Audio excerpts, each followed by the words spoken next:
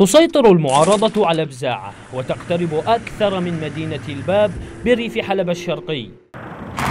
سيطرة سبقها معارك هي الأعنف منذ اندلاع معركة درع الفرات الفصائل المشاركة تؤكد أنها باتت على مقربة من فرض طوق حصار على المدينة متوعدة التنظيم بهزيمة قاسية.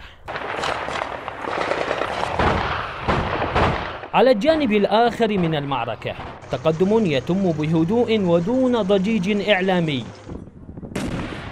الأسد وحلفائه يتقدمون أيضا ويسيطرون على قرى وبلدات جنوب مدينة الباب.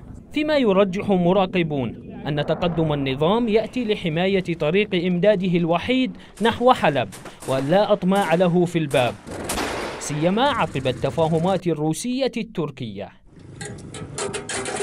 السيطرة على الباب تعني مسك زمام الأمور نحو شرق سوريا فالباب يفتح من هنا لمناطق خرجت عن سلطان المعارضة السورية منذ عامين وأكثر.